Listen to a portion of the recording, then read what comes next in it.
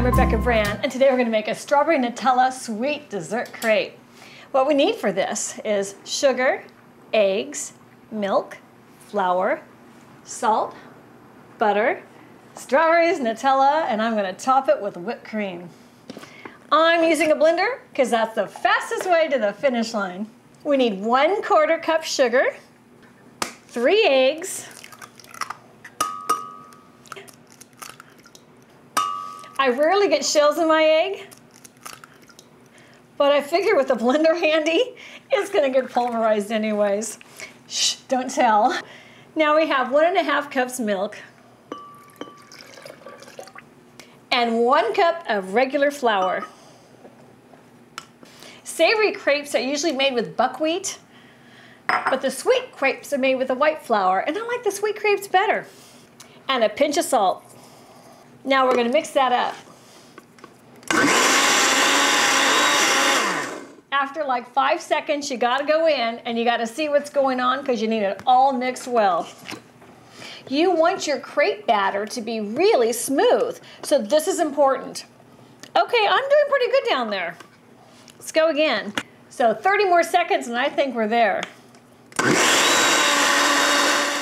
Check it for lumps one more time. And usually you can see it if they hide like in the corner. So I'm checking it and I don't see any. And now I'm gonna double check it with my spatula. No, I think we're good. So we're gonna pour it in a bowl.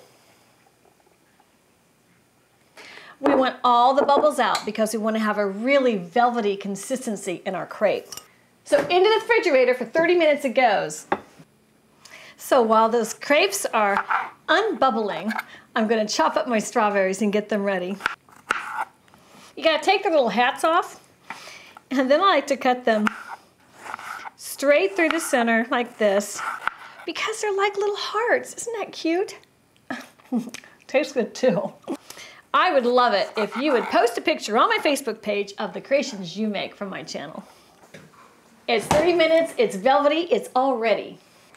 The key to crepes is getting your pan super hot. So you might give it a minute or two to warm up. You need to start with melted butter because if you put a cold thing of butter in there, those edges will turn brown as the butter starts melting and the center will still be cold. So when your pan is about to the smoking point, you're ready to go. You pour in one tablespoon of the butter, swish it around, and now one quarter cup of the batter, Swish that around and it'll cook lickety split. Avoid the temptation to stir it. Just let it cook. What you're going to be looking for is the color of that crepe to get a slightly toasted color on the side from your perspective. Pull up an edge and take a peek. Oh yeah, and now it's ready to flip. So I use a spatula to loosen it, and then I use a fork to help me make the flip. Perfect. The other side will take a little less time to cook. Crepes are such an amazingly fast snack to make. So it's time to fill our crepe. Onto a plate it goes. I put one tablespoon of Nutella in the center of that crepe. Oh my gosh. And it's gonna melt when it touches that hot batter. In go my strawberries. And let's put a little whipped cream in there. Oh my gosh. So let's fold it up. Oh, it's a fatty.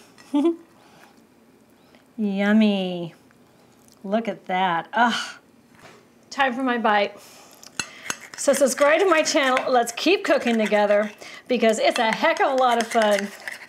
Oh, oh, oh. Do you think this is going to fit in my mouth? I've been told I have a big mouth. I think so.